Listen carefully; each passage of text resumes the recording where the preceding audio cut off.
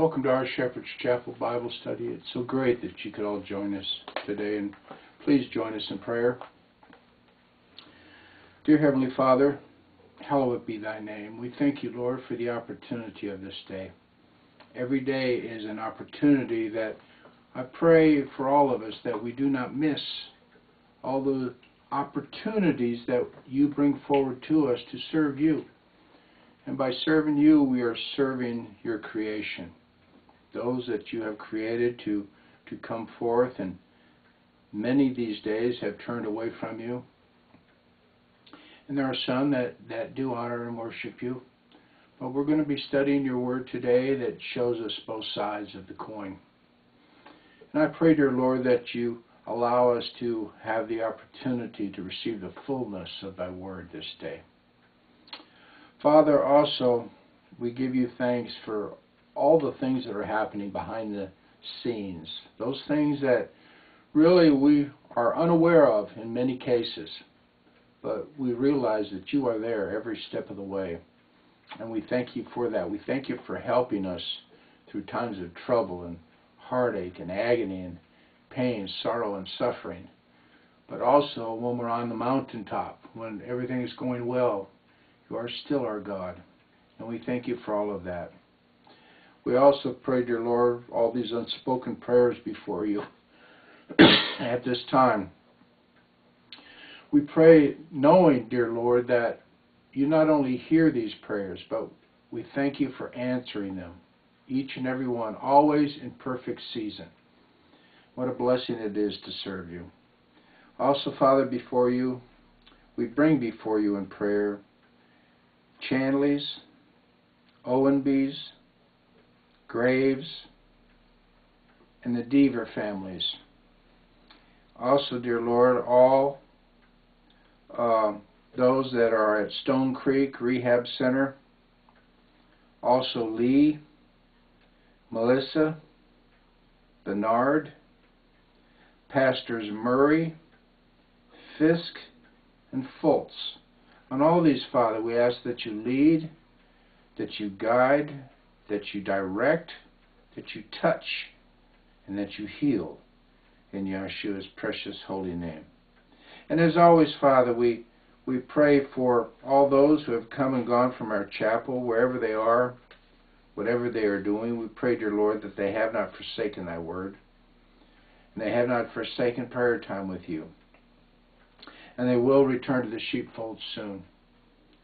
And as always, Father, we pray for Israel and our nation, for thy kingdom to come, knowing that it will be thy will that will be done on this earth as it is in heaven, to which we await. And we say, Come, Lord, come. And we pray for those first responders every day. They're on the front lines helping your children, as well as our military who are in arm's way or who are about to go into harm's way for their safety and speedy return home. And as always, Father, we pray for the lost, those that do not have an opportunity this day to receive thy truth. Now, Father, I pray that you open up our eyes that we may see. I pray that you open up our ears that we may hear thy words as it is written, as it will be you that speaks to us through thy scriptures this day. In Yeshua's name we pray. Amen. Thank you, Father. um, before I get started, we have a lot to cover today, really, but it, it's on my heart. Excuse me, still sinus problems. Um, why I believe, I mean, you would think it's self-explanatory, but why I believe it is so vitally important for someone to accept the Lord Jesus Christ right now, if they haven't. Something's been on my heart lately since Thanksgiving. And it's a story, and it, it wasn't a big story. And I don't remember where it was, who it was, and up to this moment, I believe they still don't know how it happened, just that it happened. But there was a, a man, I guess, a, a father of, of children, and they were having their excuse me, their um, Thanksgiving dinner. And they're all at the table enjoying the love of God and the At least I pray he knew God. But they were having their Thanksgiving meal. And right in the middle of the meal, uh, they don't know where it came from, only from outside of the home, but all of a sudden a bullet came through the window and hit the man in the head. And uh, it was a stray bullet, uh, as I understand, from somewhere, and killed him right instantly, right in front of his family. Now that might be shocking to you, and I, I can understand why, but I'm not doing this to shock you. I'm doing this for all of us to understand we don't know how long we have. It might be years, it might be weeks, it might be moments. But it's important that we understand without God, we don't have eternity. Without Christ in our lives, we, we're lost. And we're going to be dealing with this today in Scripture. So just keep that in mind. It's, it's vitally important to our Father, and it should be vitally important to you. Enough said on that. Today we're coming to Psalms 52. And um, we're going to uh, see very quickly here, we're going to be dealing, starting off with, a type or even in, in the reality of today of the Antichrist. So with that being said, Psalm 52, it says, To the chief musician Maschil, a psalm of David, when Doeg, the Edomite, this gives you a time frame, came and told Saul, who was the king at the time, and said unto him, David is come to the house of Ahimelech. Now, we're not going to cover it today because it's a whole other study, but if you want to, go to 1 Samuel, and in 1 Samuel chapter 21, you will learn of this, of what what transpired, especially around, excuse me, verse 7. Now, starting off here in verse 1, uh, David's talking about the evil of the day. But this also being prophecy of not only what would come, but what is even in living in this world today in the form of an antichrist. Now, again, antichrist doesn't mean um, against Christ, like anti. It means instead of, which means there's coming a day, as Second Thessalonians chapter 2 clearly states, that the Antichrist is going to be coming here claiming that he's God, sitting in the temple of God, and the whole world will be whoring after him. That's why in the seventh trump, seventh seal, and seventh vial, when the true Christ returns, that those good well-meaning Christians that follow the Antichrist, thinking that he's Jesus Christ, will want the mountains to fall on them. Those aren't my words. Those are our Father's words. And I pray you are open to that someday, if you are not already. But it starts in verse 1. It says this, Why boastest thou thyself in mischief? O mighty man? It's a question. Why are you why are you boasting yourself, O strong man, O mighty man? Now again, this is going to be the form of Antichrist. And that's exactly what the Antichrist did. He boasted himself. Remember, he was the guardian cherub that covered the mercy seat. God himself promoted him to that position, as it's written in, in, in Genesis. Those of you that don't understand that, put that off on the shelf for now and, and do some homework and study of, of, of Genesis.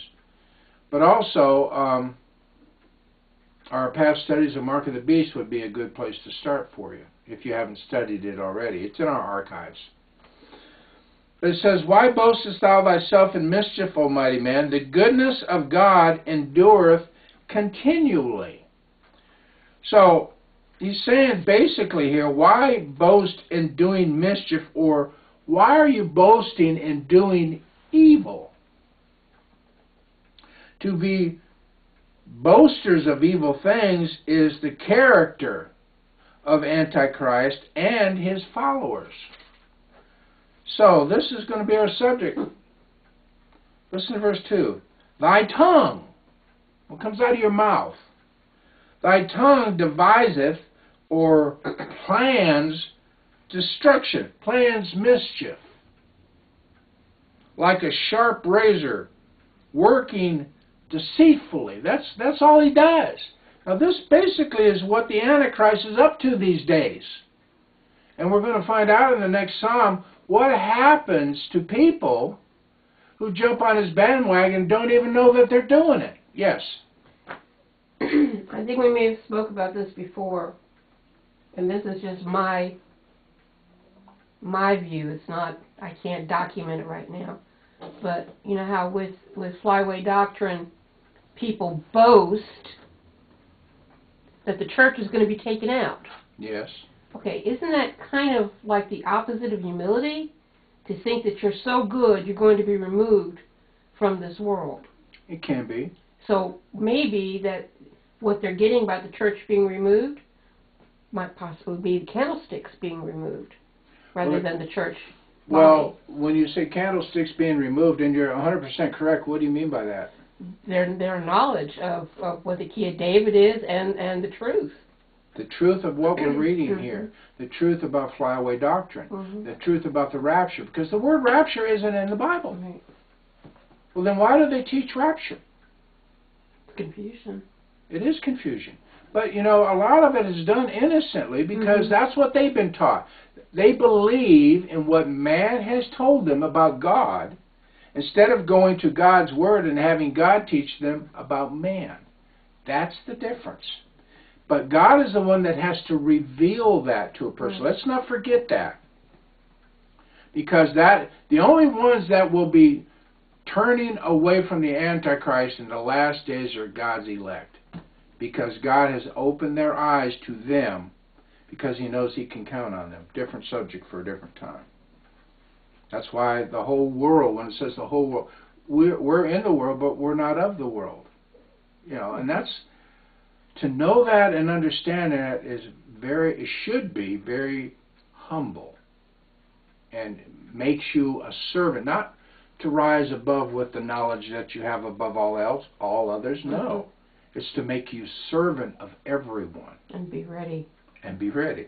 Verse 3 says, Thou, again, who are we talking about? We're talking about the Antichrist. Thou lovest evil more than good. You say, I don't understand that. Well, good. I hope you don't understand that because it makes no sense why a person would love evil over good. But especially the Antichrist loves evil over good. And all those that follow him is the same way and lying rather than to speak righteousness. Instead of speaking what is right, they lie all the time.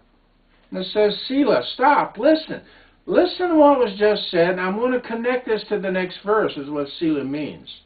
Verse 4 Thou lovest all devouring words, those words that will confuse, those things that will uh, um, uh, cause disruption in life uh, those words that basically ca- it's called babble in the end times. It's babbling words that people, oh, they sound good, they sound religious, they sound right, but it's going completely against our Father's word. And if you don't know our Father's word, you're going to take it in hook, line, and sinker.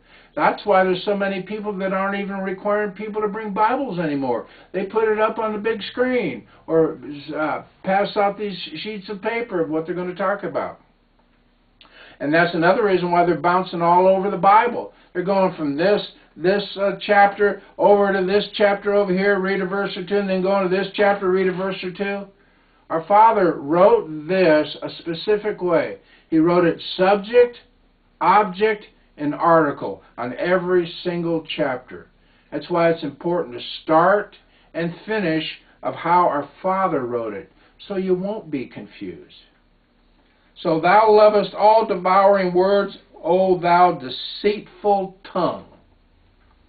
Verse 5 God shall likewise destroy thee forever. Has this happened yet? No.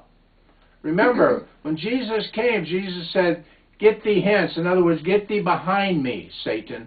In other words, Satan was removed. His fleshly, not fleshly, but his his his his existence on this planet.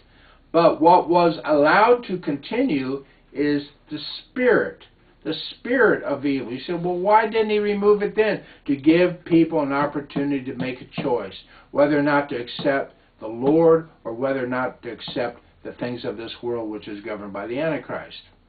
So it says, God shall likewise destroy thee forever. And that will happen at the end of the millennium. He will be uh, burnt from within, as it is written, blotted out from existence. He shall take thee away. And this is prophecy of what will happen, not only to Satan, but all those on his bandwagon as well, and all those who refuse God and pluck thee out of thy dwelling place, and root thee out of the land of the living. Now he did that. That has happened.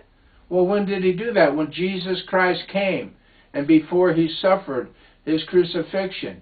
When when Satan remember Satan took uh, Jesus to the wilderness. Well, Jesus went to the wilderness and he was approached by the Antichrist or by Satan and Satan gave him all these different things that he would give to Jesus if Jesus would bow down and worship him. And at the end of all that, Satan's or Jesus said to Satan, "Get thee hence, get thee behind me." In other words, at that point, Satan had no power over uh, death.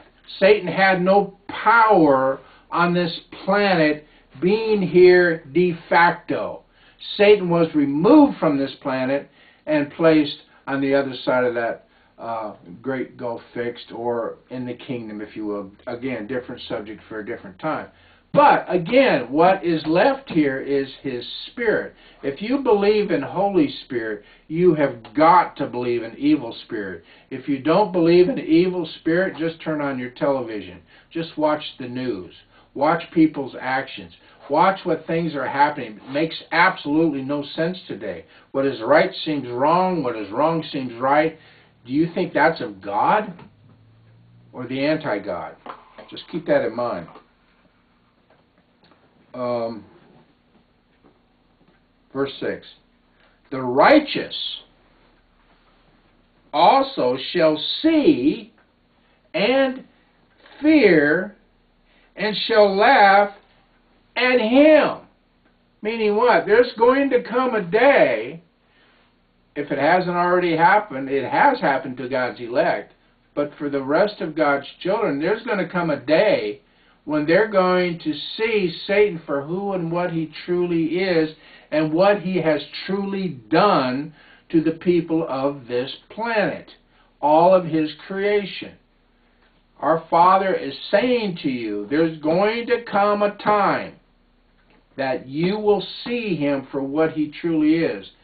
That's why when, when the true Christ returns, the true Christ, that's why so many people will want the mountains to fall on them. They're going to be running and hiding away from the true Jesus Christ. Why? Because at that moment they're going to realize they had been lied to all their life.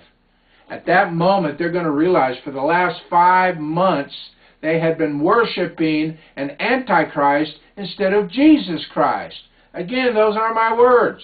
Those are our Father's words. But they believe it now. They teach it now. Now think about that. By doing that, you're turning away from the true God. You're true, turning away from the true Christ. But they don't see that. They basically say teachings like this are of the devil itself. But it's true gospel. It's a 100% correct and I will have to stand before my God someday and give an account for what I taught from these words. And I take this very seriously. I put my stake in eternity on it. So, and I know, I know beyond a shadow of a doubt. You say, well, how do you know you're right and they're wrong? Because of what our Father is doing to me and for me and through me these days. I mean, I, I could spend the rest of our time together giving an account of the blessings in my life. The overwhelming joy and security that I have of when I walked. I mean, I used to walk in ignorance. I used to believe in the flyaway and the rapture and, and all that apple in the Garden of Eden. I used to buy it all. But when the Lord got a hold of me through His Word and opened up for me the fullness, the mysteries of God as it's written in God's Word, the understanding of Scriptures, I wasn't listening anymore to man. I was listening to my Father. And when that happened, when I gave every ounce of my being to Him and His Word, everything changed. As it should. And it will for you if you trust Him. And we're going to get in very quickly of those that don't trust Him, what happens. So the righteous also shall see and fear and shall laugh at him. That's the Antichrist. Lo, verse 7. This is the man that made not God his strength. Let's not forget the first earth, first heaven age when uh, Lucifer, as he was called back then, morning star, uh, don't forget he's always a copier. I mean, Christ is also called the morning star. but when Lucifer, Lucifer was promoted to that guardian cherub over the mercy seat, as it is written, that at that point, what did he do? Instead of covering the mercy seat, he wanted to be the one sitting in it. In other words, he wanted to be our Christ. And what did he do as it's written? What is it? Uh, Genesis 6, I think? He drew a third of God's children away from our Father in the eternal kingdom now, in heaven while we're all in spiritual bodies. And he drew a third of God's children away from him. And that's when uh, he did not put God as his strength. He put himself as his strength. And this is going to happen again. Let's not forget that. What we're reading about now, this is going to happen again at the sixth trump, sixth seal, and sixth vial when the Antichrist will return to this earth. But he's not coming as Antichrist to the multitude of people. He's coming as Jesus Christ. He's going to be claiming that he's God. Sitting in the temple of God, claiming that he is God. Again, read it for yourself. Don't take my word for it. Second Thessalonians chapter 2 declares it so clearly that only a fool would de deny that truth. You say, well, that's pretty that's pretty raw. It should be raw. I'm trying to get your attention. Because those that will not accept God's truth is a fool. And those aren't my words. Listen, I'll, I'll cover it in a minute. But trusted in the abundance of his riches. Let me let me start over on that verse. Lo, this is the man, that's Antichrist, that made not God his strength, but trusted in the abundance of his riches, and strengthened himself in his wickedness. So he strength. You say, well, how did how did he get all these riches? Let's not forget, the Antichrist owns this world. It belongs to God. When I mean own it, I maybe the wrong term. He runs things. He's the one pulling the strings right now. And our Father said that would happen.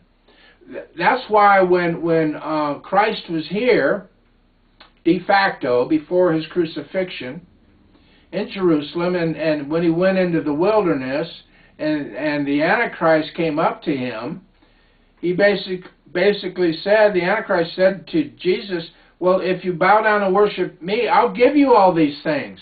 Because he basically runs everything. And he still runs everything. If you don't think he doesn't, just open your eyes and look what's happening in this world today. Now, he may not run your life, and he doesn't have to.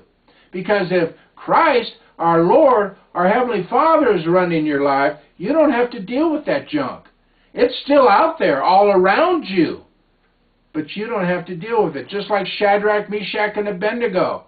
That thrown in the fiery furnace, not a hair on their head was singed because Christ was with them. If Christ is with you today, not a hair on your head is going to get singed by what's happening in this world today, whether it be pestilence, whether it be the economy, whether it be education, whether it be religion. It will not affect you. You stick to the true Word of God, the true Christ. But listen to verse 8. But I am like a green olive tree in the house of God. Now, this is David saying basically when he's in the house of God. Because at this particular moment of time, David was in exile. So he wasn't in Jerusalem. So he's remembering and he's also prophesying of what it is like to be in the house of God. Now, what I'm about to tell you, I want you to understand clearly. You can be in the house of God today, right where you're at, because you are supposed to be the pillar in the temple of God where God resides. He's supposed to be residing with you. Once you accept the Lord Jesus Christ as your Savior, once you turn away and repent from your sins, then Father moves in and and removes all the dregs, removes all the junk, removes all the negatives in your life, step by step by step. Not instantly, but He will cleanse you and make you whole if you want it. And then once that happens, you are basically in the temple of God that He resurrected on the moment of His resurrection from the dead. And you're part of that. You're part of that family. You're grafted into that. Whether you be Jew, Gentile, you're grafted into that if you believe and trust Him. If you believe and trust in His Word. And then finally in verse 9 it says this I will praise Thee forever. How could you not? Once you have this, once you have the blessings of God, once the negatives have been removed, and you're starting to learn how to become a righteous person. That just means you're doing what's right according to the Word of God. You don't want to do the evil things anymore. You don't want to have the bad behavior anymore. You don't want to be a junkie anymore. You don't want to be an alcoholic anymore. You want to be pure and clean and whole and serve the living God by what He gives you to do by helping people. It could be just not even leaving the house, just helping your own family and being a different creation. It's called a new creation. You are a new creation that God has now formed and made you whole and made you loving and made you caring and made you a person that He can depend on. And guess what else? Others now can depend on you as well. Where they may have not been able to depend on you maybe for a long, long, long time. So he says, I will praise thee forever because thou hast done it. Now the manuscript, the ancient uh, Hebrew manuscript, reads this a little bit differently. It says this, I will praise thee forever, but instead of because thou hast done it, it says, the revenge of my judgment. The revenge of my judgment, meaning the vengeance of God on Doeg like what we started with, it, where God, David didn't have to revenge or go against Doeg, that God did it for him. God is the avenger. And once we learn that, a lot of things change in our lives. Why? Because there's a lot of people that come up against us, especially the more we want to walk with the Lord, the more it seems like we have people coming at us and calling us crazy or calling us uh, uh, um, a hypocrite or calling us negative this and negative that and and we've and especially young people today. I was reading an article a little bit before the camera came on today about, and I've known this for quite some time because I was a part of it in growing up and getting into college. But it seems like today's education, and let's not forget, education is one of the hidden dynasties that Satan is operating now. Why do I say that? Because of what they're being taught, or basically not being taught. 1962, 1963, the Bible and prayer was taken out of schools. And ever since that point, it's been getting worse and worse and worse. And now they're they're teaching against God in the educational system. And that if if you you it's very hard and difficult for a young person to follow God and follow what is being taught in the school system today. And that's even in the college and universities as well. So it's vitally important that we teach children and form their understanding in the Word of God and that they be absolutely, positively sure of what they know about the Lord before they ever even entered the school system. Enough said on that. But listen to Psalms 53 as we continue our study today. Because we were just talking about the Antichrist.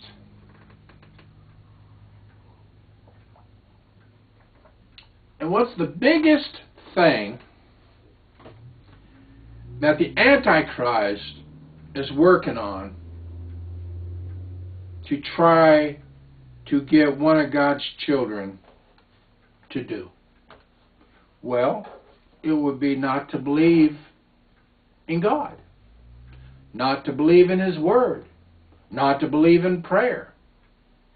And I'm not just talking about heathen. I'm talking about self proclaimed Christians who believe what they're doing is right, but then they have a bunch of confusion in life. I know people right now, there there's no doubt in my mind, deep down they love Jesus Christ. And they have been brought out of terrible situations in life. And they are a new creation. But they're not able to receive the fullness of understanding of our Father's Word. Why?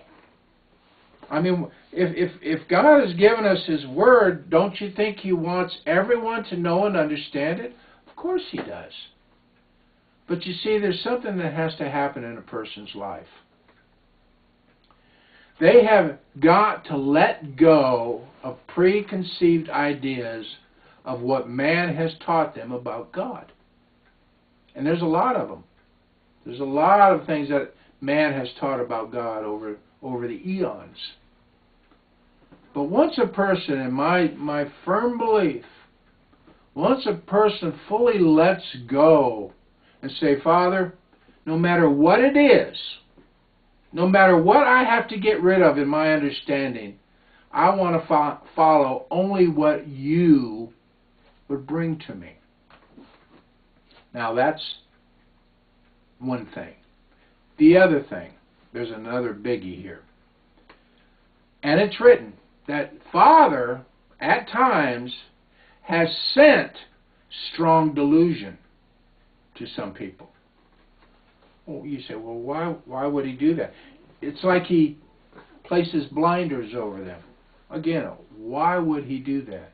Because it's written that the more that is given, the more is required of you. Let me say that again because it's important to understand. The more that is given you, the more our Father requires of you. So if He knows deep down in your heart that you're not willing to go that next step, you're not willing to let go and let God, He's going to place a blinder over you, but not forever until the millennial period. Again, some people say, well, why? Because he doesn't want you to be a sinner the rest of your life. He doesn't want you to deny him and his powerful word all of your flesh existence. So he's going to wait. He's patient. He's going to wait until the millennial period when all will be revealed. Because we're not going to be in these flesh bodies anymore. We're all going to be in spiritual bodies. Our mind is going to be 100% open to the clarity of only God's Word. There will be no Satan, there will be no Lucifer, there will be no evil of any kind for a thousand years. But at the end of that thousand years, still, at the end of a thousand years of teaching and learning and loving, Satan will be loosed for a short season, as is written in the book of Revelation. A short season, and there will still be a bunch that jump on his bandwagon. I don't understand it now. I definitely won't understand it then, but I know it's going to happen. How do I know? Because it's written and I believe and trust my God. But in the meantime, you have an opportunity now to receive the fullness. But here's what happens when people jump on Satan's bandwagon, and they don't even know it. Very first thing it says in verse 1 The fool, these are my words, it's God's words. The fool hath said in his heart or in his mind, There is no God. Now, don't overlook these the, the, the sentence, this verse. How God looks at this. A person who says there is no God is a fool. To not understand all the blessings in a person's life, all the creation that is in our face 24 7, to say there's no God, there's a problem with them. And the biggest problem is coming out the gate, they're a fool. Corrupt are they. Corrupt in their thinking, corrupt in their knowledge, corrupt in their understanding. They can't understand. Like Donna said just a few moments ago, the candlestick, that light, has been taken away from them. Be- why? God's only given them what they want. They don't want to live. They want to live without God. So guess what? God is going to provide that. You want to live without Him? He's going to allow you to live without Him. It's your free will. Just like it's your free will to accept Him, it's your free will to deny Him. But if you deny Him, He's telling you flat out the gate, you're a fool. You're a fool to do this. And have done abominable uh, iniquity. That means sins. There is none that doeth good. Now, see, a lot of preachers say, well, we all fall short and there's none of us that do any good. That's not what this is talking about. It's talking about those fools. They're not doing anything good. They're not doing anything righteous. No, not one. Verse 2 God looked down from heaven upon the children of men. That's his creation. That means men, women, child alike. To see if there were any that did understand. Understand what? God's Word. The knowledge, the mysteries of God. That He's given to us in His Word. That did seek God. In other words, the, God looked down and He wants to see people seeking doctrine not from man, but God's doctrine. But who is he talking about here? It says in verse 3, listen, every one of them is gone back. Who, who are they again? Those that say there is no God. Those that are fools. They are altogether become filthy. There is none that doeth good, no, not one. You know, I've heard this over and over and over from false doctrine preachers saying, You, there's none of you that are good, none of you, all of you fall short. All of you, no, not one does good. He's not talking about that. He's talking about those fools who deny God. That's the subject. See, that's why it's important to stick to the subject the object and the article that God gives us in His Word. And people want to say, well, none of us are, none of you are any good. Yes, true, we all fall short of the glory of God. We, we can't be God. No matter how good we do in life, we can't be God. Because God is pure. God has never sinned. We do. And we need to repent. But that doesn't mean that we're no good. You mean to tell me that God created no good in you? Of course not. Now, there's times in our life that we are no good when we do sin against God and we don't repent. We're not doing any good at all. Quite frankly, in God's eyes, we're a fool because you should know better. But that's, who's that's who he's talking about here. Those that say there's no God. Those that are fools who believe that. Those are the ones that aren't doing any good. And there's no good in them. And you might say, well, well, that's the heathen, beloved. Not necessarily. There's a lot of people out there who believe in all kinds of things. They believe in nature. Nature's their God. Trees are their God. Waterfalls are their God. What, whatever. In other words, anything they put before God is their idol. So would this also include those that put God in a box and just bring him out when they need him? No, because these are the ones who absolutely say there's no God. Okay. So how are you going to be put, pulling God out of a box? Okay. No, what you're talking about is the the fair weather Christians. Yeah, okay. You know, those that as long as everything's going well, you know, God's there. But when things aren't going so well, you know, or when things don't go good, they pull God up. But when things are going well, they God never hears from them. Yeah. Okay. Verse 4 Have the workers of iniquity no knowledge? Now, who are the workers of iniquity? The workers of sin. Who are they? Those that say there is no God. And so it says, Have the workers of sin no knowledge? They've got knowledge.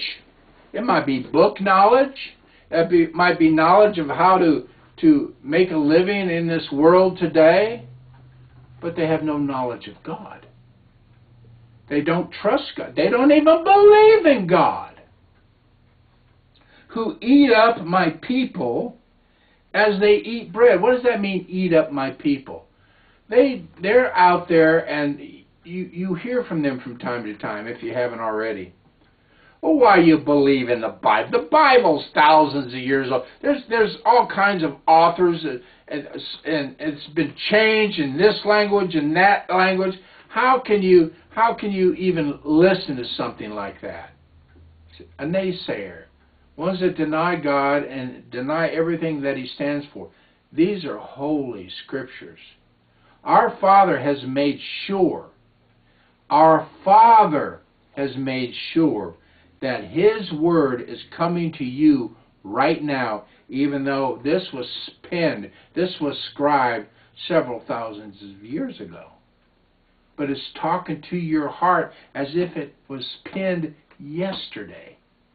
And it's to give you knowledge not only of past history, but also knowledge of today of what's happening. I mean, look what's happening in the world today with the pestilence and the earthquakes and the volcanoes and the riots and the starvations and the lack of this and the lack of that and the lack of the word, true word of God being taught today. That is written for today, telling us what would happen before it ever happened. But it's even telling us what's going to happen. So if if the history is 100% correct, and today what you read of it is 100% correct, why don't you think tomorrow is going to be 100% correct? Of course it will be. But now with the naysayers, see the negative people, they- no, no, no, it's this, this ain't good. This this is just all fictition, fictitious stuff. Well, it's not. Well, to them it is. But to them there is no God. Can you imagine? Those of you that love Jesus, can you imagine someone not having God? I mean, I, I, I can't because, quite frankly, there's been walks in my life growing up. There were periods of time I did not walk with the Lord. I've had to repent for that. However, I've always known my Father. I've always known that there, there's been a God. Always. I mean, I can never think of a time in my life where I thought there was no God. never crossed my mind. So I can't help but think that, hey, He chose me before I was ever born. He chose me. And it doesn't make me greater than anybody else. Makes me a servant of everybody. And thank God He put me in a position where I can serve Him now. You know. And He can do the same for you as well. So verse 4 again. Have the workers of iniquity no knowledge, who eat up my people as they eat bread? They have not called upon God. They don't even believe in Him or trust in Him. Verse 5. There were they in great fear, where no fear was. Now, this fear isn't reverence. This fear it means fear. In other words, people, do you know anybody like this? People that are always worried about something when there's nothing to worry about. Just think about that. When there really isn't anything to fear, and they're always afraid of something. It's always negative. It's all, oh, this is going to happen, and, and, and that's going to happen, and and, and they say this and they say that, and we need to prepare for this and we need to prepare for that. What you need to prepare for is the Antichrist coming before Jesus Christ, but mainly before that ever happens, you need to prepare to ask for Jesus Christ into your life if you haven't already. That's what you need to prepare for. You need to believe and trust in Him and then get involved in His Word. And He will show you all these things. He'll show you, you. You have nothing at all to fear about anything. Think about it. Because a person, think about this, a person who fears is saying to God, I don't trust you. That's what they're saying. They may not say those words. But how can you fear when there's a true God who's more powerful than anything that has ever existed? If you fully trust in God and He's in your life, what do you got to fear about anything? Know how many people today fear death? Well, guess what? There are fools who believe there is no God. They fear death. Don't tell me that you believe that Jesus died for your sins and resurrected and ser- we're serving a living God if you fear death. Because death is just a transition from this old body that is breaking down into an eternal existence that has no sorrow, no pain, no suffering, and no death. And all those that have passed before, we will never have to say goodbye again when we see them again. Now that is what the truth is. But people who are in fear are in fear needlessly. Verse 5.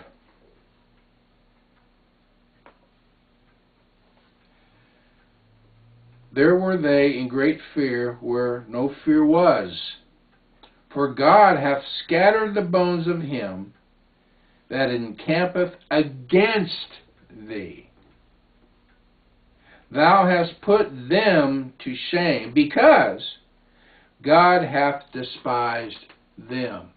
In other words, once you trust in God, once you trust in the Lord, you have nothing to fear. And all those naysayers out there, they're going to be the ones. They're going to be the ones that will be turning from God and will see that you will be promoted and they will be rejected. Now, God doesn't want that for any of His children. But what he's telling you today, this is going to happen. This is going to happen. We don't want that to happen. God doesn't want it to happen, but it's going to happen. Why? Because there's some that are fools that are going to reject God.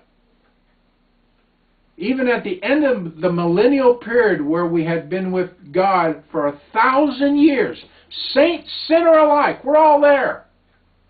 Still at the end of that millennial period, at the great white throne judgment, after Satan has been loose for, for a short period of time, there's still going to be people that will jump on Satan's bandwagon. Verse 6.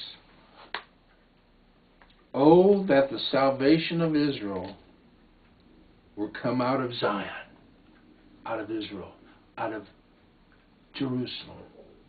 When God bringeth back the captivity of his people, when he brings them back home. Jacob, meaning all the tribes, shall rejoice, and Israel shall be glad. Does this happen today? No. This is future. This is after the two sticks are brought back together. This is after God's creation is all brought together again. And then we will be rejoicing. Because we won't have to deal with this stuff anymore. At all. But it will take Christ's return. It will take Christ's teachings. This will be after the great white throne judgment in the millennial period at the end of it. When we will be with Him for all eternity. In a few minutes, I want to do Psalm 54. It's important. It's all important, but listen. To the chief musician Anaganoth Maschil, a psalm of David, when the Ziphims came and said to Saul, Doth not David hide himself with us? And this is when David was in exile and David was hiding himself. There was a period in time with this where David, um, he, uh, they thought King David was going to come up against them, but David was in an exile and he needed protection. So, so what God did, he had David act like a crazy man, scratching on the doors, on the gates, and foaming at the mouth, and going in his beard spittle. And they're saying, "Oh, this, this dude's crazy. Just let him go. We're, you know, he's not harmful or anything." Uh, telling us what? There's going to be times in your life that you might act a little differently before the world. But if you're following God, and what I mean by that, if you're following God, He's going to empower you to do what needs to be done to continue to do His work. I'll leave it there. But listen, David came to a point that he got real with God. And I pray this has already happened to you, but if it hasn't, there's going to come a point, and I pray it's today, that you're going to get real with God. Not not the not the the, the, the formal prayers or the the formal churches or the traditions of men. You're going to get one-on-one encounter with your eternal Father. It's going to be directly from your soul, directly from your heart to Him. And this might happen to you. It says in verse 1 Save me, O God. Save me, O God, by thy name. And judge me by thy strength. In other words, David's getting real with God if there's sin in your life, you need to get real with God. Because sin cannot enter the kingdom of God. If you got sin, you're not getting there. You've got to have it removed. Now, you may get to the millennial period, but there'll still be sinners in the millennial period. But you're not going to get to the eternity. The millennial period is not the eternity for everyone because there are still people that are liable to die at the end of that millennial period. They'll be blotted out from existence. And our Father doesn't want that for you. Now we're talking about those, we're not talking about now those that deny God. We're talking about those that are getting real with God. That know He's real and realize that they're a sinner and they need saving. That's what David's saying here. Verse 2 Hear my prayer, O God. Give ear to the words of my mouth. Lord, listen to me. Please, I beg you. I humbly come before you. This is real to me. God's going to know whether it's real or not. He's the heart knower. He's going to know if this is coming directly from your heart. And you don't have to say these exact words. Just be real with your Father. Some of you have never been real your entire life. It's time to get real with God. Because He's real to you, you should get real with Him. Verse 3 For strangers are risen up against me. You don't think strangers are up against you today? All around you. It could even be family members that are against you. They don't want you to succeed. They don't want you to be holy. They don't want you to be blessed. They want you to be as miserable as they are. But maybe you're tired of that misery. Maybe you're just plain tired of it all. You don't want to deal with it anymore. Well, God's there to change everything around. Doesn't mean any anything's going to change out there. Family members or whatever. I pray that it does, but it might not. They're going to be just the same old miserable people as they've always been. But you're going to be different. Because for the first time in your life, you're getting real with God, as David did here. For strangers are risen up against me, and oppressors seek after my soul. They have not set God before them. They don't believe in God. They don't trust God. So they don't want me to trust in Him either. They want me to be as bad off as they are. Or maybe even worse. They want me to fail. Behold, verse 4 says, God is mine helper. The Lord is with them that uphold my soul. In other words, hey, I've got a few people out there, you know what? They encourage me. They know what I'm talking about. They're trying to help me, and they're upholding me. I want to turn from the bad ways. I want to be that better person. Well, there's people out there, believe it or not, that God has already called that will help you. How do I know? Because I'm living it. I've seen it during my life. A lot of times in my past, I didn't even know that they were there, that God sent them. But He did.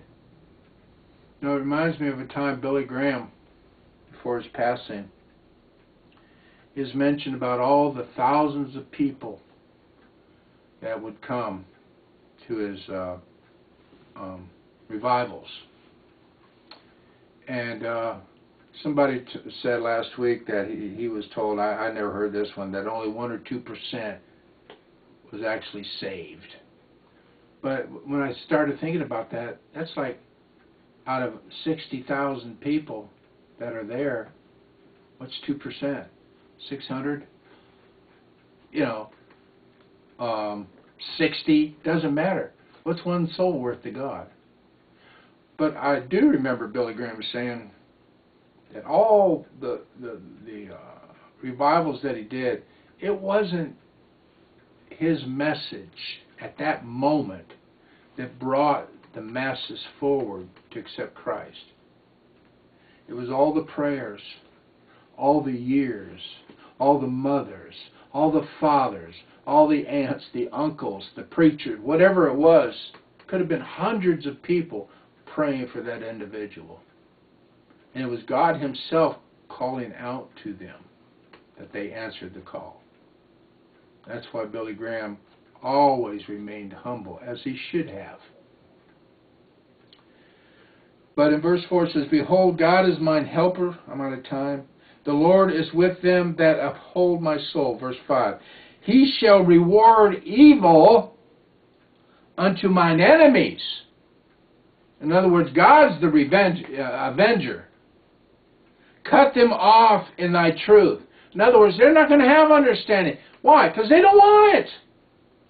And God's going to cut it off for them. They don't want God, guess what? They don't have to have God. Verse 6 I will freely sacrifice unto thee. And we covered sacrifice last week very well, I believe. He says, I will freely sacrifice unto thee. I will praise thy name, O Lord, for it is good. And finally in verse 7 to complete, for he hath delivered me. Hear this, it's important.